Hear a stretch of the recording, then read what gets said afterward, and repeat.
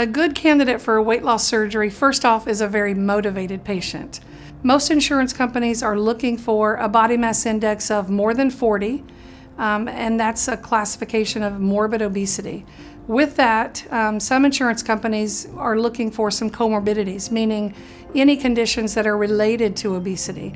So things like high blood pressure, diabetes, sleep apnea, high cholesterol. Some insurances, once your BMI is more than 40, don't even require you to have those comorbid conditions because they do realize that, you know, you're at a level of obesity that is the highest that you can be at and we don't want to let that progress anymore to get to the point where you have those severe conditions and possibly even death related to that. There are more and more insurances covering the surgery these days, um, and some require that you actually go through a supervised program.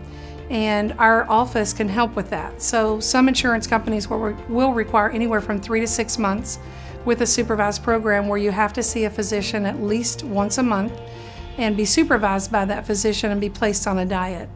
It does not mean that you have to take um, medications if you're not comfortable with that.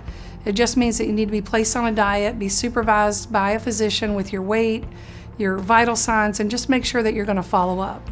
Once that program is complete and you meet the criteria, then we can move forward with the surgery based on uh, your requirements and submit for an authorization to get your insurance co to cover the procedure.